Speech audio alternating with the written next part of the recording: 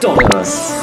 どうもです。はい、というわけで今回はですねあの大人気シリーズの理系注文シリーズイエイ。はい、ということで今回はですね、えーガストさんに協力をしていただきましてですねちょっと許可取ってますんでね、まあ、これ、まあ、メニューがあるんですけども、まあ、普通に頼むのではなくサラダはまあ信用ジュリーみたいな感じでそれに言い換えて注文していくという。果たして信用主任は理系なのかってとこだけやなそうなんです。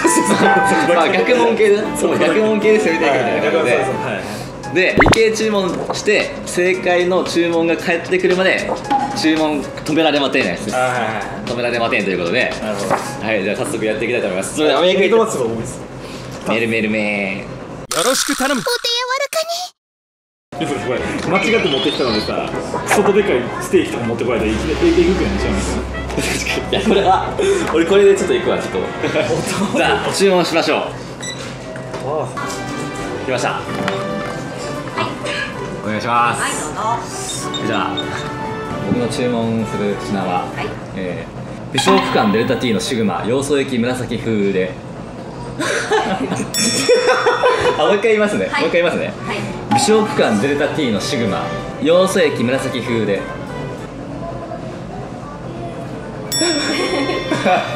これやばい。これやばいですね。僕ははい。ジャカルタ PP プチッとで理系ちゃう理系ちゃうやんもう初めからすいません、はいお願いします、はいお願いしますお願いします。なんか液体かけたもんなお前違う違う違う要素液を紫に変えるあお米ってことライスってことああ違う違うちょっと惜しいこれそうポテト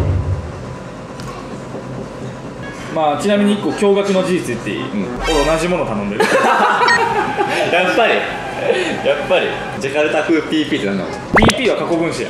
フライドポテトとフライドは過去や。過去分子絶対わかるこれあ来ました。お待たせいたしました。あ。ハンバーグエビフライでございます。ハンバーグエビフライが僕ですか？はい。はいなるほど。抹茶パフェで。抹茶パフェいきなり。初手抹茶パフェ。ちなみにどういった流れでこのようなあ、なんかソソース系。要素液紫風っていうのがちょっと液体みたいな感じで捉えられてしまったと。そう。でこっちは PP ってあったんでパフェかなって思って。PP でパフェ。あそうなんなるほどなるほど。パーフェクトパフェ言ってもうたか。ではちょっとあの正解を。この商品は僕が注文した商品ではではって言ったらもう知らない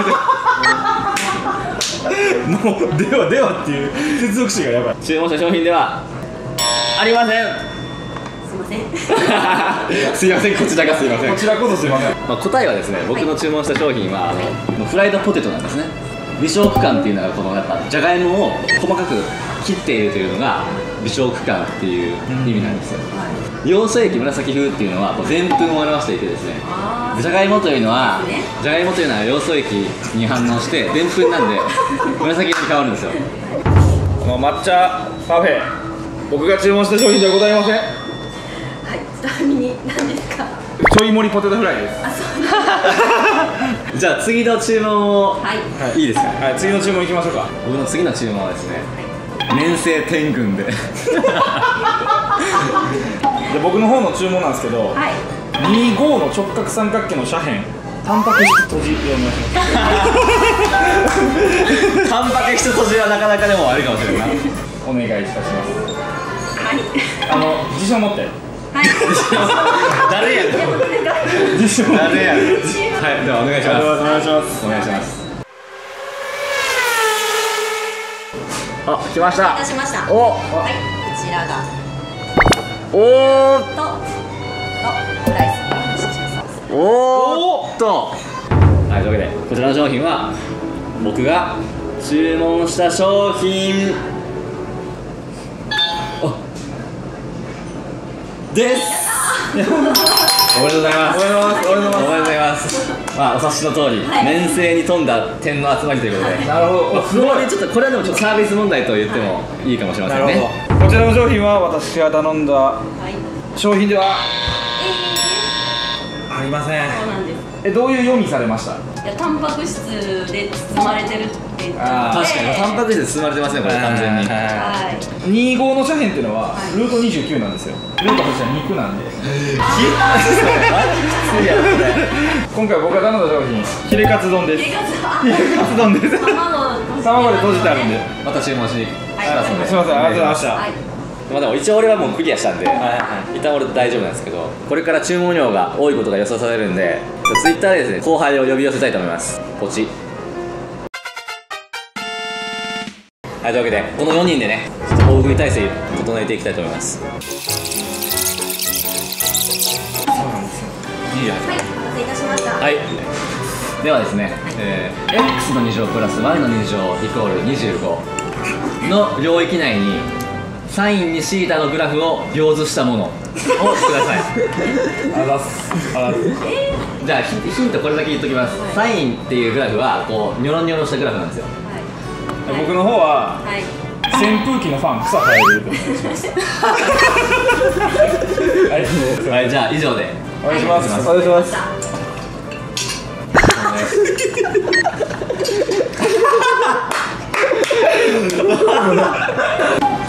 書きました。お待たせいたしました。ピザサラダでございます。お待たせいたしました。マルゲリータピザでございます。これも確かに確かにぽいもんちょっとこれ扇風機っぽいもん中と相談しましたえということでいはいどうぞこちらのマルゲリータピザこちらは私の注文した商品ですおめでとうございます。どのような解釈を経てこのようになったかちょっとお尋ねしてもよろしいでしょうか。そので X の事情っていうのはなんか丸じゃないのかと。おどそれはどなたが？中のスタッフが。おお素晴らしい。がいる。はい。理系がいる。で波状って言ってたんでそれかかってるからマルゲリータピザという素晴らしい。素晴らしい。こちらはこちらの商品は、私が頼んだ商品では ただあなたが貝です。むしろむしろ先生のむしろあなたが答えですこれ。ありがとうございありがとうございまますいやでもすこれのこれこれ見せられたら結構。この商品の存在自体が自分たちのちょっと想定外だったんですよね。もう20回ってことを忘れてたな。この前10回入り10ました回入ったかじゃあ次の商品頼みますか。はい。僕らははい。A または B たまに部分集合ですじゃあ俺も全く分からんもん俺も。部分集合っていうのはある丸の中に1個丸が完全に入ってしまった状態のことを言う。んでお願いします。お願いします。これぽかったですけどね。何？ピリカのハンバーグです。でそれが形がハンバーグと卵をこう足すと A, か A, A または B になってるそうですね。でたまに部分集合。たまに部分集でたまにの玉が卵ともかけことが入った何も伝わってこないです。何も伝わってこない。ちょっお待たせいたしましたとはい。てりたまハンバーグでございますチョコバナナパンケーキです。ほう。はいということでテイタンハンバーグ。はい。素晴らしい。素晴らしい。素晴らしい。美味しそうです。ありがとうございます